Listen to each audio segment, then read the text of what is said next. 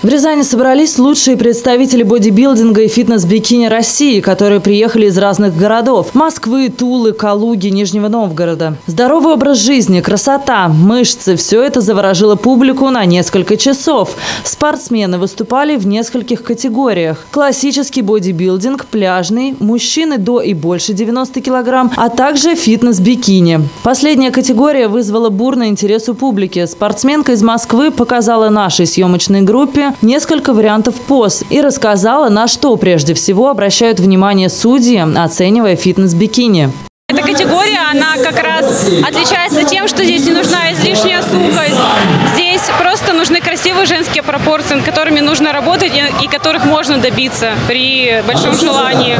Спортсмены, участвующие в подобных конкурсах, начинают свою карьеру часто с занятий фитнесом. В дальнейшем это затягивает, и работа над телом становится любимым делом жизни. А дальше спортсмен понимает, что можно не только тренироваться, но и показывать окружающим тот результат, которого ты добился. И если в фитнес-бикини присутствуют девушки ниже 165 сантиметров и выше, на каблучках с красивыми пропорциями и модельной внешностью, то мужчина в бодибилдинге – это настоящий сплав мышц.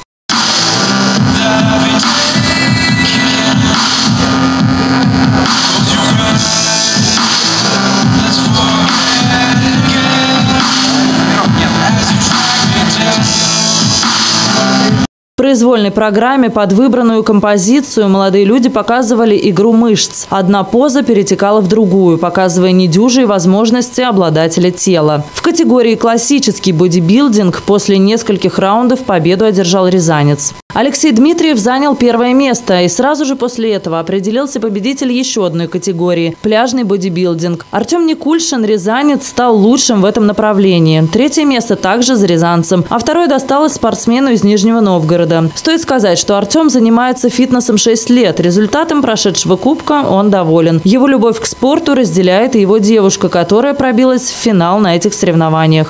Мы вместе уже два года. Она в этом спорте столько, сколько и я. То есть, да.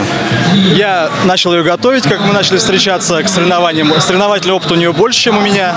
Да, это мои вторые соревнования. Первые были осенью на Кубке Москвы, Московской области.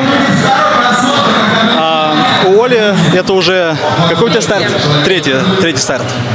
Ради интереса мы выяснили, как проходит обычный день спортивной пары, которая выступила на этих соревнованиях. У нас очень мало выходных совместных, потому что мы вместе работаем еще. Вот. А так, э, в выходные мы в основном э, просыпаемся, завтракаем, идем тренироваться обязательно. Две, две тренировки в день обязательно, шесть приемов пищи. И так каждый день до подготовки за месяц где-то вот мы проводим. Здоровое питание, спорт, сон, умение позировать и разделять радость победы, а также не сдаваться от поражений и мотивироваться на еще большую работу над собой. Все это только небольшая, видимая часть этого спорта. Мы желаем рязанцам очередных побед и успехов. А напоследок хотелось бы добавить, что кубки Евпатия Калаврата и Авдотья Рязаночки в этот раз уехали в другие города. Их обладателями стали абсолютные чемпионы в категориях бодибилдинга и фитнес-бикини Владислав Мошкин из Ярославля и Анна Байкина из из Москвы.